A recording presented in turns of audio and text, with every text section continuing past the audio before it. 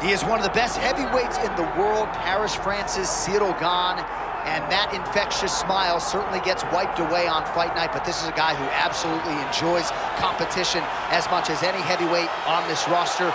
Figures to have a striking advantage in this matchup and in most matchups in the heavyweight division, but most of these guys, if they have it in their repertoire, are gonna try to take him down. So what has he done? Gane's gone back to the drawing board. He has spent so much time working on his wrestling and takedown defense that he believes his sprawl is going to show up large here tonight.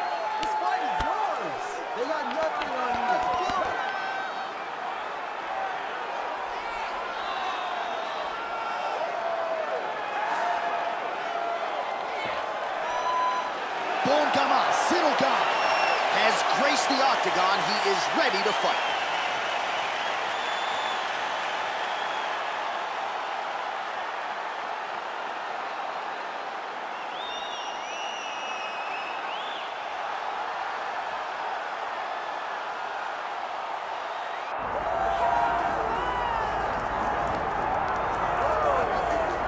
Right, so here he is, the undisputed UFC heavyweight champion, Tom Aspinall. He has put UK on the map. And certainly Michael Bisping and Leon Edwards deserve a lot of credit, but now the UK has a heavyweight champion, and he hasn't even arrived at his fighting prime. We heard a lot about the grappling of Tom Aspinall and just how good he was in that realm, but his striking is outstanding. He's got the power to go with the speed. He moves as well with the footwork as any heavyweight on the roster.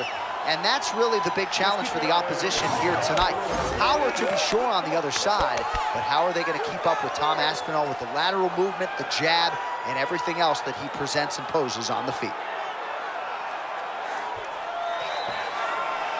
Well, so much UFC history has played out here at T-Mobile Arena in Las Vegas, Nevada. Plenty more where that came from tonight. The athletes are ready to go. Our tale of the tape for this heavyweight championship fight. Now for the official introductions, here's Bruce Buffer. So Herb Dean, third man in there for this one. While Tommy Aspinall's fans travel well as we get to some early action here, a lot of people believe that this is the future of... Back to his feet. Oh my goodness! Some real power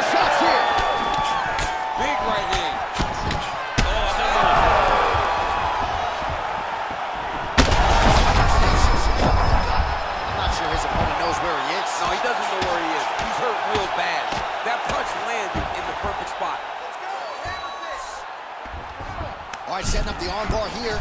Beautiful setup on that arm bar. Oh, looks like he's got the arm isolated. He's got it isolated, working toward the finish.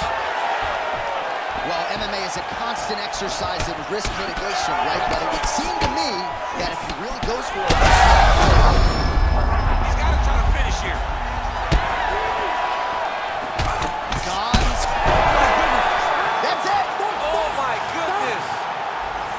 Yeah, man, crowd loving it. Just a gorgeous shot there to end the fight. Really just the way he drew it up. He found the opening and capitalized on it to the utmost extent.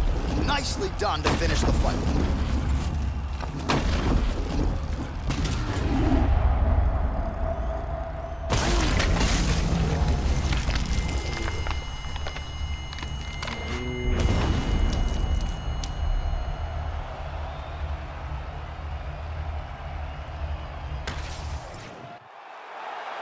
The official decision is in.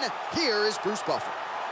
Ladies and gentlemen, referee Herb Dean's called a stop to this contest at 59 seconds of the very first round, declaring the winner by knockout and still the undisputed UFC heavyweight champion of the world, Tom Aspinall. All right, so we hear and still tonight, our UFC